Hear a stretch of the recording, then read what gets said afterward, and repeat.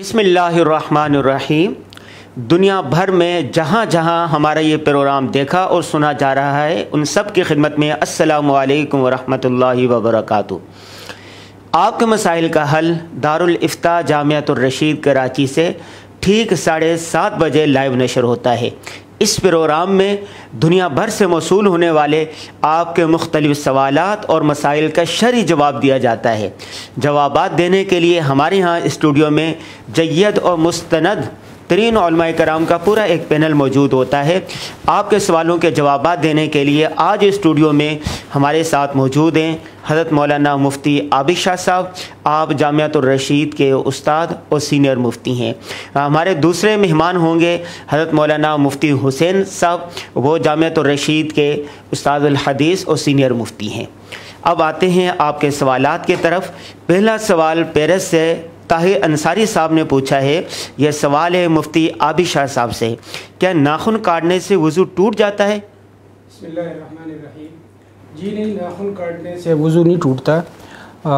یہ الگ بات ہے کہ اگر ایک آدمی نے ناخن اتنا گہرائی کے سے کاٹا کہ اس کاٹنے کی وجہ سے خون نکل آیا تو وہ خون نکلنے کی وجہ سے تو وضو ٹوٹ جائے گا لیکن ناخن کاٹنے کی وجہ سے وضو نہیں ٹوٹتا۔ جی ٹھیک۔ کوٹ ادو پنجاب سے زوجہ ظفر اقبال صاحب پوچھتی ہیں کیا مخصوص ایام میں ہاتھ اور پیروں پر مہندی لگا سکتے ہیں؟ نیز کیا بالوں پر بھی کلر کر سکتے ہیں؟ جی بالکل مخصوص ایام میں مہندی بھی لگا سکتے ہیں اور ہیئر کلر کا استعمال بھی کر سکتے ہیں۔ یہ غلط مشہور ہے عوام میں کہ ایسی حالت میں مہندی استعمال کرنے سے وہ ناپاک ہو جاتی ہے۔ ایسی کوئی بات نہیں ہے مہندی استعمال کی جا سکتی۔ بہت شکریہ۔ پیرس سے طاہر صاحب پوچھتے ہیں میں نے ہیئر ٹرانسپلانٹ کروایا تو ڈاکٹر نے سجدہ کرنے سے منع کر دیا۔ اس صورت میں نماز کا کیا حکم ہوگا؟ دیکھیں ہیئر ٹرانسپلانٹ تو سر کے بالوں پر ہوتا ہے اور سجدہ چہرے کے بل ہوتا ہے۔ تو بظاہر ایسے لگتا ہے کہ یہ محض احتیاط کے لیے ڈاکٹر نے بتایا ہوگا۔ اور چونکہ سجدہ نماز کا رکن ہے اور اس کو کسی ایسی، ایسے عذر سے نہیں چھوڑا جا سکتا ہے کہ جس عذر کا تعلق انسانی حاجت و ضرورت سے بھی نہ ہو، محض زیب و زینت کے ساتھ ہو۔ تو اس وجہ سے اگر یہ محض احتیاطی حکم ہے تو ان کو سجدہ چھوڑنے کی اجازت نہیں ہوگی۔ بہت شکریہ۔ فرانس ہی سے طاہر انصاری صاحب کا دوسرا سوال ہے، نفل نماز کے ممنوع اوقات کون کون سے ہیں؟ جی تین اوقات تو ایسے ہیں کہ ان میں کوئی بھی نماز پڑھنا مکرو ہے۔ طلوع کا وقت ہے، غروب کا وقت ہے اور عین دوپہر کا وقت جب سورج سر کے اوپر کھڑا ہو۔ تو اس وقت میں کوئی بھی نماز پڑھنا چونکہ مکرو ہے، تو نفل نماز پڑھنا بھی مکرو ہے۔ باقی دو اوقات ایسے ہیں کہ ان میں نفل نماز پڑھنا مکرو ہے، خاص نفل نماز۔ ایک صبح جب فجر طلوع ہوتی ہے، اذان کا جو وقت ہوتا ہے، اس وقت سے لے کر سورج طلوع ہونے تک یعنی فجر طلوع ہونے سے، سورج طلوع ہونے تک، فجر کی نماز سے پہلے اور بعد میں، ان دونوں اوقات میں کوئی بھی نفل نماز پڑھنا جائز نہیں ہے۔ اسی طریقے سے عصر کی نماز، عصر کے فرض نماز پڑھنے کے بعد مغرب تک سورج غروب ہونے تک کوئی بھی نفل نماز پڑھنا مکرو ہے جائز نہیں۔ بہت شکریہ۔ عبد القادر صاحب پوچھتے ہیں کسی واجب کے ادا کرنے میں اتنی تاخیر کرنا کہ تین مرتبہ سبحان اللہ کہا جا سکے سیدہ سو واجب ہوگا۔ کیا ہر نمازی کی اپنی اسپیڈ کے اعتبار سے ہوگا؟ جی اتنی تاخیر کے جس میں تین مرتبہ سبحان ربی العظیم کہہ سکیں۔ تو اس سے سجدہ صاحب واجب ہوتا ہے اور اس یہ مقدار رکن ہے یعنی ایک مقدار رکن تاخیر کی یہ مقدار ہے۔ اب اس میں ہر آدمی کی اپنی سپیڈ کا ظاہر ہے کہ اعتبار نہیں ہے، اس میں ایک معتدل رفتار سے نماز پڑھنے والے کی سپیڈ کا اعتبار ہے۔ یعنی جیسے ابھی میں یہ کہہ رہا ہوں، سبحان ربی العظیم، سبحان ربی العظیم۔ اس رفتار سے تین مرتبہ سبحان ربی العظیم کہنے میں جتنا وقت لگتا ہے یہ وقت ایک رکن کی مقدار ہے اور اتنی مقدار تاخیر کی وجہ سے سجدہ صاحب واجب ہو جاتے ہیں۔ جی ٹھیک۔ پشاور سے شہزاد صاحب پوچھتے ہیں اگر آخری دو رکعتوں میں سور فاتحہ کے بعد کوئی تسمیہ پڑھے تو کیا اس سے سجدہ سہ واجب ہوگا یا نہیں؟ جی آخری جو دو رکعتیں ہیں اس کے اندر سورہ فاتحہ پڑھنا مستحب ہے لیکن کوئی ضروری نہیں ہے۔ اگر ایک آدمی سورہ فاتحہ بالکل نہ پڑھے تین مرتبہ سبحان ربی العظیم کے بقدر وہ کھڑا ہو جائے یا اسی طرح تسبیحات کہہ لے تو بھی یہ تیسری اور چوتھی رکت پوری ہو جاتی ہے۔ تو جب سورہ فاتحہ اس کے اندر پڑھنا کوئی ضروری ہی نہیں ہے، تو اس مقدار، اس رکت کی پیمائش ہم سورہ فاتحہ سے نہیں کر سکتے ہیں کہ اگر ایک آدمی نے سورہ فاتحہ سے آگے مثلا بسم اللہ پڑھ لی یا صورت بھی ملا لی تو گویا اس نے تاخیر کر دی رکوع میں۔ تو جب ہم ایسے نہیں کہہ سکتے ہیں تو اس وجہ سے فقہ یہ فرماتے ہیں کہ تیسری اور چوتھی رکعت میں اگر کوئی بسم اللہ تو کیا اگر پوری صورت بھی ملا دے تو اس کی وجہ سے کوئی سجدہ صاحب واجب نہیں ہوتا ہے۔ جی بہت بہتر۔ کراچی سے بنت آدم صاحبہ پوچھتی ہیں کیا خواتین کے لیے لوہے کی انگوٹھی پہن کر نماز پڑھنا ٹھیک ہے؟ جی سونا چاندی کے علاوہ جتنے دھات ہیں اس میں لوہا تانبا پیتل وغیرہ ان دھاتوں کی انگوٹھی پہننے کی عام کتب فقہ میں ممانعت لکھی ہوئی ہے۔ لیکن حضرت فقی النفس حضرت مولانا رشید احمد گنگوئی رحمہ اللہ فرماتے ہیں کہ فقہا کے اختلاف کی وجہ سے یہ کراہت تنظیحی ہے، تحریمی نہیں ہے۔ تو اس وجہ سے اہل علم یہ فرماتے ہیں کہ اگر کوئی خاتون ان دیگر دانتوں کی انگوٹھی استعمال کرتی ہے تو اس کو نرمی کے ساتھ سمجھانا چاہیے، لیکن شدید نکیر نہیں کرنی چاہیے۔ باقی اگر کوئی ان دھاتوں کی انگوٹھی پہن کے نماز پڑھ لیتا ہے تو نماز اس کی بلا کراہت ہو جائے گی۔ جی ٹھیک۔ فارق فاروق عبداللہ صاحب کا سوال ہے کیا وطر کی نماز میں دعائے قنوت پڑھ کر دوسری دعائیں بھی پڑھ سکتے ہیں؟ جی دعائے قنوت کے نام سے جو دعا معروف ہے حدیث شریف میں بھی اس کا ذکر آیا ہے اللہم انا نستعین کا و نستغفر کا جو معروف دعا ہے۔ یہ دعا، دعائے قنوت یعنی وطر کی تیسری رکعت میں یہ دعا پڑھنا بہتر اور اولا ہے۔ کوئی اور دعا بھی پڑھی جا سکتی ہے اور جو بھی دعا پڑھی جائے گی وہ دعائے قنوت ہی کہلائے گی۔ پھر اس دعا کو پڑھ لینے کے بعد اگر کوئی اور دعائیں کرتا ہے تو ہندیہ میں یہ سراحت ہے کہ وہ یقر ابادہ اللہ مہدینہ فی من حدیت و آفینہ فی من آفیت یعنی یہ جو دیگر دعائیں ہیں، وہ بھی اس کے بعد کی جا سکتی ہیں۔ بس اس بات کا خیال رکھنا ضروری ہے کہ صرف وہ دعائیں پڑھی جائیں جو معصور ہیں، منقول دعائیں ہیں، حدیث شریف میں آئی ہیں۔ ایسی دعا نہ کی جائے جو کلام الناس کے مشابہ ہو۔ تو خلاصہ یہ ہے کہ معصور اور منقول دعائیں دیگر بھی پڑھی جا سکتی ہیں۔ جی ٹھیک۔ کوہاٹ خیبر پختونخوا سے احمد گل صاحب پوچھتے ہیں، ایک آدمی غریب ہے، لیکن اس کی بیگم کے پاس زیورات ہیں، کیا اس سے زکوٰۃ دی جا سکتی ہے یا نہیں؟ دیکھیں، زکوٰۃ کے اندر میاں بیوی میں سے ہر ایک کے اپنے الگ نصاب کا اعتبار ہوتا ہے۔ اگر بیوی والے کے نصاب ہے، چاہے سونے کی وجہ سے، چاہے نقدی کی وجہ سے، تو اس کی وجہ سے اس کا شوہر جو ہے، وہ زکوٰۃ سے محروم نہیں ہوگا۔ تو اگر شوہر بذات خود مستحق زکوٰۃ ہے یعنی اس کی ملکیت میں ساڑھے باون تولہ چاندی یا اس قیمت کا کہ بقدر رقم موجود نہیں ہے، سونا وغیرہ بھی نہیں ہے، تو وہ مستحق زکوٰۃ ہے، اس کو زکوٰۃ دی جا سکتی ہے۔ انہوں نے زیورات سے متعلق سوال کیا ہے، تو زیورات کے حوالے سے مختلف علاقوں کا عرف مختلف ہوتا ہے۔ بعض جگہوں میں ایسا ہوتا ہے کہ شوہر بیوی کو جو زیورات دیتا ہے تو وہ مالکانہ طور پہ دے رہتا ہے۔ تو وہاں پر تو وہ بیوی ہی کی ملک ہے، اس کی وجہ سے شوہر جو ہے وہ مالدار شمار نہیں ہوگا اور وہ زکوٰۃ لینا اس کے لیے جائز ہوگا۔ لیکن بعض علاقوں میں وہ بیوی کو محض استعمال کے لیے دیا جاتا ہے عاریت کے طور پہ۔ تو ایسی صورت میں چونکہ وہ زیورات اصلاً شوہر کی ملک میں ہے اگرچہ استعمال اس کو بیوی کر رہی ہے، تو شوہر کی ملک میں سونا موجود ہونے کی وجہ سے وہ جب مالدار ہوگا تو ایسی صورت میں اس کو پھر زکوٰۃ دینا جائز نہیں ہوگا۔ جی ٹھیک۔ افتخار صاحب پوچھتے ہیں، کیا قرض کی جو، قرض کی رقم جو بچوں کی تعلیم کی فیس کے لیے رکھی ہوئی ہے، سال کے بعد اس پر زکوٰۃ فرض ہوگی یا نہیں؟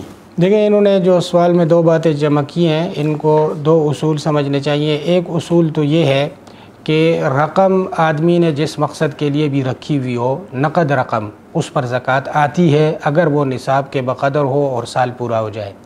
یہ ایک اصول ہے۔ دوسرا اصول یہ ہے کہ اگر کسی آدمی پر قرضہ ہو تو زکوٰۃ کا حساب کرتے وقت جتنا بھی مال جمع وہ حساب کر لے، اس میں سے قرضے کی رقم منہا کر کے بقیہ کی زکوٰۃ ادا کرنا ضروری ہوتا ہے۔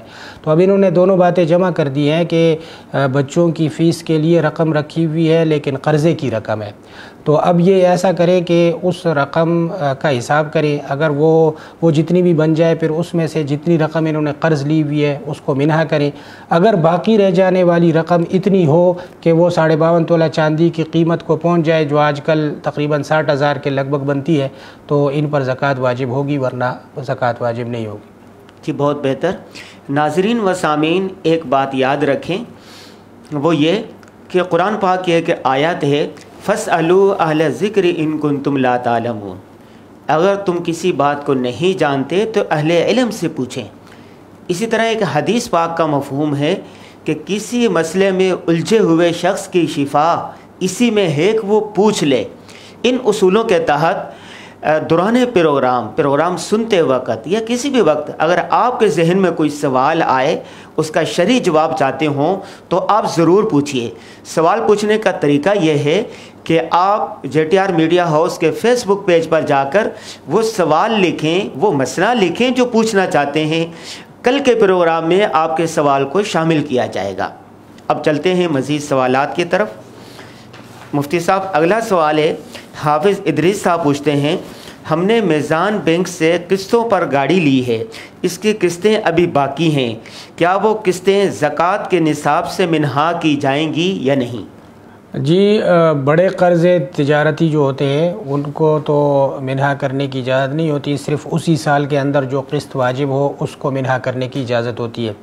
لیکن یہ انہوں نے گاڑی اگر اپنے ذاتی استعمال کے لیے لی ہے تو اس کی جتنی بھی قسطیں واجب الادا ہیں، اس کو یہ زکوٰۃ سے بنا کر سکتے ہیں۔ جی بہت شکریہ۔ اگلا سوال ہے، مجاہد بشیر صاحب کا۔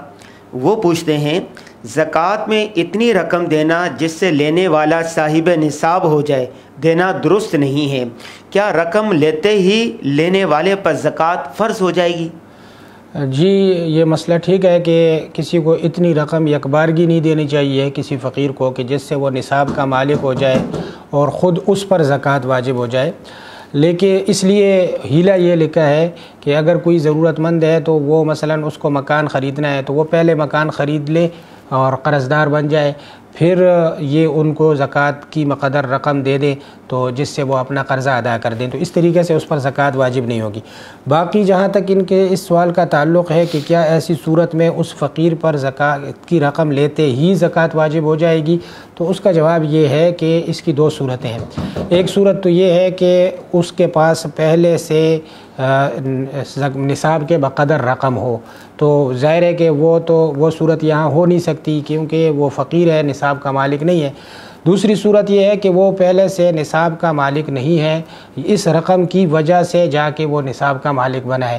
تو جب اس رقم سے وہ نصاب کا مالک بنا ہے تو فوراً اس پر زکوٰۃ واجب نہیں ہوگی، بلکہ پورا سال جب گزرے گا تو تب اس پر زکوٰۃ واجب ہوگی۔ وہ بھی تب جبکہ وہ سال بھر تک وہ رقم اس کی ملکیت میں باقی رہے۔ اگر اس سے پہلے پہلے وہ خرچ ہو جائے یا نصاب سے کم ہو جائے تو اس پر زکوٰۃ واجب نہیں ہوگی۔ بہت شکریہ مفتی صاحب۔ انجم نذیر صاحب پوچھتے ہیں کیا روزے کی حالت میں انہلر استعمال کیا جا سکتا ہے جبکہ سانس لینے میں دشواری ہو رہی ہو؟